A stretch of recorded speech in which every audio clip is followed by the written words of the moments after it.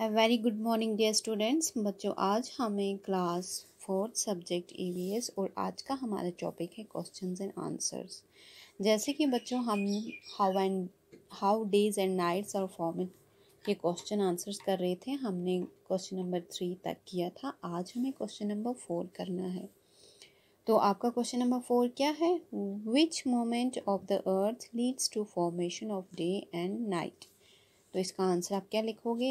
It is rotation of the it is rotation of earth which leads to the formation of day and night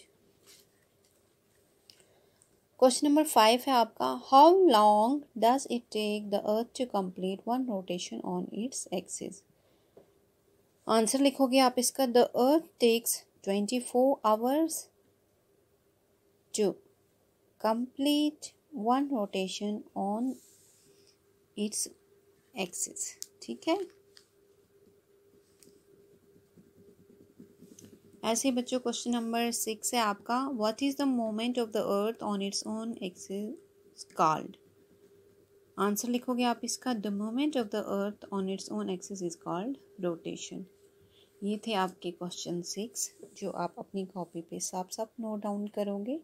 और साथ साथ बच्चों, आप ये learn भी करना। क्योंकि अब आपके एग्ज़ाम्स भी आ रहे हैं तो आप ये लर्न भी करना।